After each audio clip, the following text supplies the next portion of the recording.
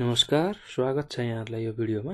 आज हामी यो भिडियोमा कम्बाइन मिन त्यसै गरी कम्बाइन स्ट्यान्डर्ड डेभिएसन र कम्बाइन कोफिसियन्ट अफ भेरिएसनलाई कुन फर्मुला लगाएर क्यालकुलेट गर्ने भन्ने विषयमा चर्चा गर्नेछौँ।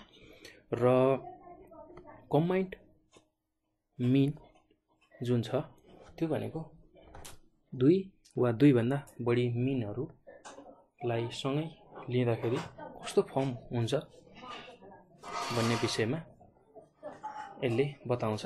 र कम्बाइन मिनलाई एक्स बार मात्र पनि रिप्रेजेन्ट गरिन्छ र एक्स बार वान टू भने पनि रिप्रेजेन्ट गरिन्छ। यदि दुईवटा सिरिज हामीलाई दिएको छ भने र यदि तिनवटा सिरिज दियो भने यसलाई X bar one two three हाम्रो नोटेसनको लागि हामीले यो युज गर्छौँ सजिलोको लागि।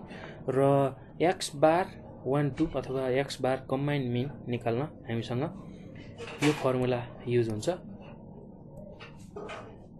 N one X one bar plus N two X two bar divide by N one plus N two र यसमा एन वान भनेको number of observation of first series हामीसँग दुईवटा सिरिजमा first सिरिजको total number of observation N वानले represent गर्छ। त्यसै गरी x one बार भनेको फर्स्ट सिरिजको मिन रिप्रेजेन्ट गर्छ र एन टू भनेको हामीलाई सेकेन्ड सिरिजको अब्जर्भेसन भन्ने बुझ्छौँ र त्यसै गरी एक्स टू बार भनेको mean of second series second सिरिजको mean बुझ्छौँ र हामीले कम्बाइन मिन निकाल्न जहिले पनि यही फर्मुला युज गर्छौँ। यदि दुईवटा सिरिज दिएको छ भने यदि तिनवटा सिरिज दिन्छ भने हामीले यसरी यो फर्मुला युज गर्छौँ। X bar one two three भन्नुको मतलब तिनवटा मिनको कम्बिनेसन छ यसमा। र त्यो निकाल्न N one X one bar plus N two X two bar plus N three X three bar divide by N one plus N two plus N three र त्यसै गरी एन थ्री जुन हामीले यहाँ डिफाइन गरेको छैनौँ त्यसलाई डिफाइन गर्नु पऱ्यो भने number of observation of third series यसरी डिस्क्राइब गर्न सकिन्छ अथवा एक्स थ्री बारलाई मिन अफ थर्ड सिरिज यसरी हामीले डिस्क्राइब गर्न सकिन्छ।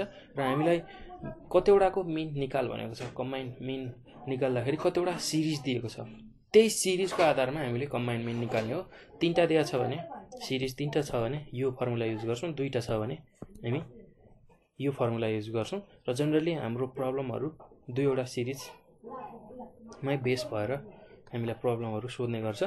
र दुईवटा सिरिजको लागि हामी यो फर्मुला युज गर्छौँ।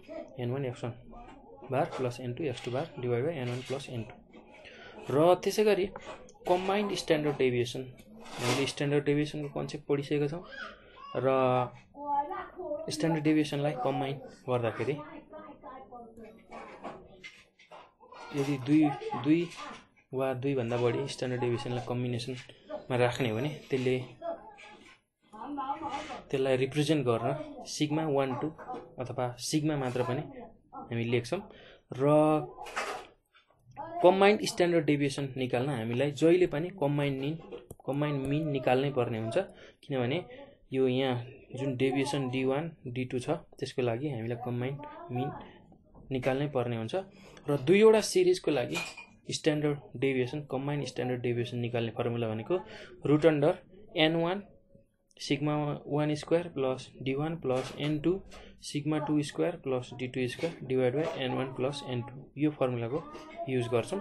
र यसमा एन वान भनेको number of observation of first series sigma one square भनेको भेरिएन्स अफ फर्स्ट सिरिज र सिग्मा वान अथवा सिग्मा स्क्वायर भन्ने बित्तिकै हामी भेरिएन्स बुझ्छौँ र त्यसै गरी एन टू भनेको number of observation of second series र त्यसै गरी सिग्मा टू स्क्वायर भनेको भेरिएन्स अफ सेकेन्ड सिरिज र डी वान डी टू जुन हामीले यहाँ माथि युज गरेको छौँ त्यसलाई निकाल्न हामी X one bar minus X bar र डी टू निकाल्न X two bar minus X bar यो फर्मुला युज गर्छौँ र यसमा एक्स बार भनेको कम्बाइन मिन हो।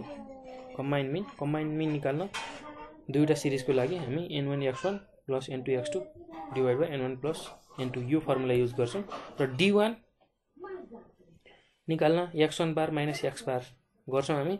र एक्स वान बार भनेको मिन अफ फर्स्ट सिरिज हो। र यो फर्स्ट सिरिजको मिन माइनस यो कम्बाइन मिन यसलाई घटाउने हो भने हामीले डी वानको भ्यालु पाउँछौँ डेभिएसनको र त्यसै गरी डी टूको लागि एक्स टू बार यो mean of second series minus यो कम्बाइन्ड मिनलाई घटाउने हो भने हामीले डी टूको भ्यालु पाउँछौँ। र त्यसै गरी combined coefficient of variation CV निकाल्न। हामीले यो combined standard deviation sigma one two यो जुन माथि निकाल्छौँ त्यसलाई combined mean X bar one टूले divide गर्छौँ र हन्ड्रेडले मल्टिप्लाई गर्छौँ र यो गर्दा नै कम्बाइन्ड कोफिसियन्ट अफ भेरिएसन निक्लिन्छ र यो फर्मुलामा बेसिस भएर इक्जाममा क्वेसन एकदमै बढी सोधिरहेको छ। र यो तपाईँहरूले एकदमै ध्यान दिएर यो फर्मुला सम्झिनु होला। र यो फर्मुलालाई लगाएर र योभन्दा पछिको भिडियोमा म तपाईँहरूलाई यसको एप्लिकेसन कसरी गर्ने यो फर्मुला कसरी प्रब्लममा लगाउने र भ्यालु निकाल्ने त्यो सिकाउँछु। र तिनवटा सिरिजको लागि कम्बाइन्ड मिन यहाँ छ। कम्बाइन्ड हाम्रो स्ट्यान्डर्ड डेभिएसन मिनको लागि हामीले मेजर अफ सेन्ट्रल टेन्डेन्सीमा कम्बाइन्ड मिनको बारेमा थोरै पढेका थियौँ। र यसमा पनि स्ट्यान्डर्ड कम्बाइन्ड स्ट्यान्डर्ड डेभिएसन निकाल्न हामीलाई कम्बाइन्ड मिन कम्पलसरी निकाल्नै पर्ने भएको हुनाले यसमा पनि कम्बाइन्ड मिन हामीले थोरै पढेका हौँ। र सिक्मा अथवा कम्बाइन्ड स्ट्यान्डर्ड डेभिएसन तिनवटा सिरिजको लागि निकाल्न पऱ्यो भने त्यसलाई रिप्रेजेन्ट गरेर सिग्मा वान टू थ्री अथवा सिग्मा मात्र लेख्छौँ।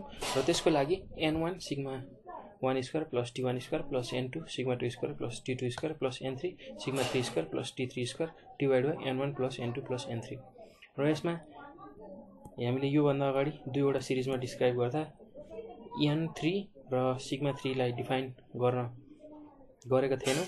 र यसमा एन थ्री भनेको number of observation of third series त्यसै गरी सिग्मा थ्री भनेको